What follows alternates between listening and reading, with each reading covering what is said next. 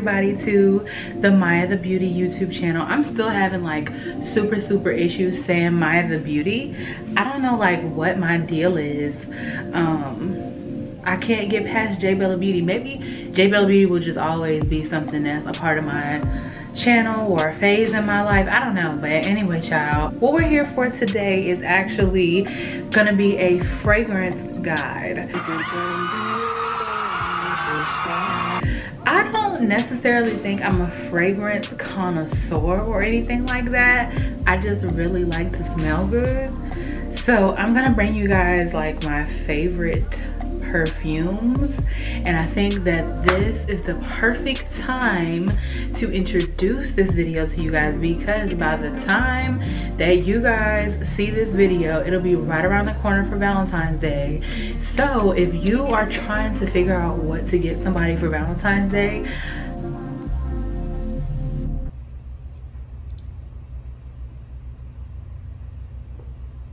I don't care what's going on buying somebody a perfume, especially like a girlfriend, is such a good gift to me, especially when you, you know, buy a upscale perfume. I like that. So I will try my hardest to link these perfumes below because to be honest guys, I don't think I've purchased any of my own perfumes. We have to give like a big props to my dad literally every Christmas, you guys, like every Christmas, probably since I was in high school, my dad has always bought me and my sisters and my mom a really nice perfume. And I feel like every year he's always like upgraded our perfume. And mine have always lasted me for so long because I felt like I just wasn't utilizing them at first. I would just kind of keep them because they said they look so pretty until um, I think like I started working and I would spray them and then people would compliment me on the smells. That's when I started wearing them. Her perfume collection is courtesy of my dad. Can you see her? Is this one. It is the Juicy Couture. This one is a little bit more woody to me. It's definitely a little bit more strong. I tend to like more sweet scents. I don't want to hear that. But because this one is a little bit more affordable and um, I just feel like this one is a little bit more every day. It's easier for you to replace once you run out of it. But yeah, this is such a good scent, especially if you're trying to like start your perfume collection. I will start with the Juicy Couture scents. This one is like an OG. I get a compliment every single time I wear this perfume. It is this Burberry perfume right here. Um, I sold this so many times when I was working at Ulta. I swore by it. Clearly you can see how much is left in the bottle. A little bit goes a long way with this perfume. I love this. So this one definitely has like a sweeter scent to it. Like I told you guys, I favor more sweet scents. Um, this has a very, very sweet, sweet scent to it, but it's very, very strong and it hit people like people will smell you girl if you walk past them.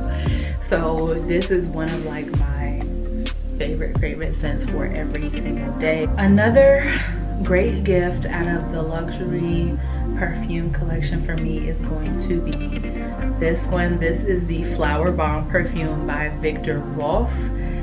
Yes this is the Flowerbomb by Viktor Rolf i'm gonna try my hardest to find out where my dad got this from. For me obviously it is a very like flowery scent to me. And then the package is kind of cute because if you pay attention it looks like a bomb. It's very very um, floral but it's a lot stronger than the Burberry one.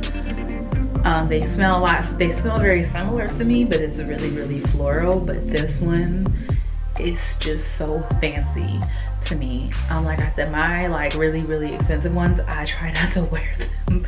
This ain't the Oscars, is it? I'm used to something a little bit different, but let's go. We bring our own drinks up in places like this. As much because I want to like savor them. I don't want to have to purchase them. But girl, this one smells so good. I have like wiped these bottles off. Next on my list is definitely the Tiffany collection perfume. This perfume, clearly, as you can see, I do not use it a lot. A little bit definitely goes a long way.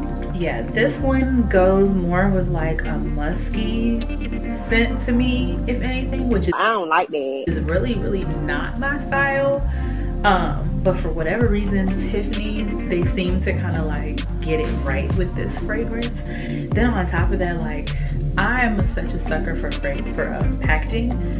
I'm a huge sucker for packaging. So because this bottle um, just is as pretty and cute as it is, I just loved it. This is probably like my second favorite perfume now. Um, it is a very, show you, looks like this. It's a very, very strong, strong, sweet scent. Um, it's almost going into like a woodsy scent to me for women, but this perfume is so pretty and I'll take the refill out so you guys can see what it looks like. But this is what the refill looks like and early I was using it. And I have like two more. Yeah, I have two more left. Um, this one is so, so, so nice. Because um, I didn't think I was gonna like it at first. It doesn't smell really good if like you try to smell it. But if you put it on your body and let it sit, um, it really, really is, becomes an attractive scent to me. Because at first I was like, eh. But then when I put it on myself and I smelled it, I was like, oh, this smells really good. The last scent in this video is literally me and all my sisters and my mom's favorite scent that my dad has ever purchased for us. This is the Baccarat.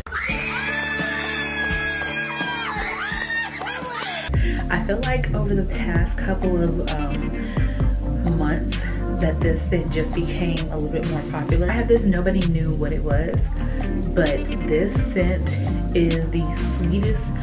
If you are very into like sweet scents like I am, this is the one that you want.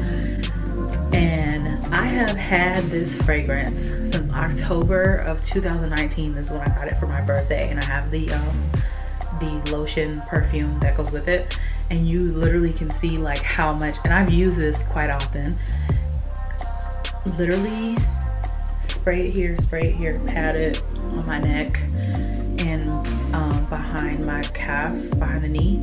And not only will everybody smell you, but it literally lingers in the room when you walk away.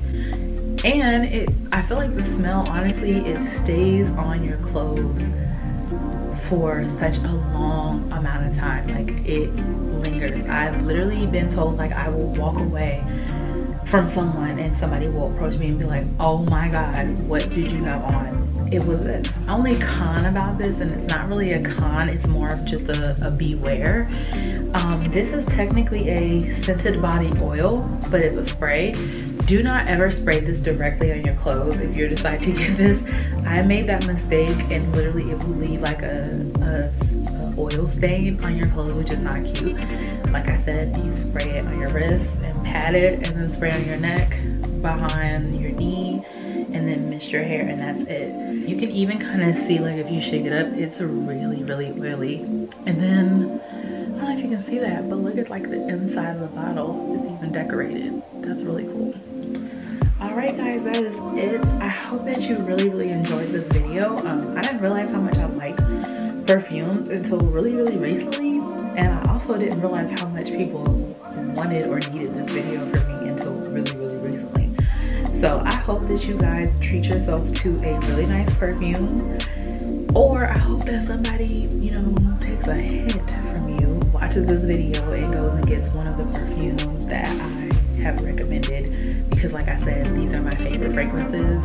They will always be on my vanity. They will be with me for life as long as they make them.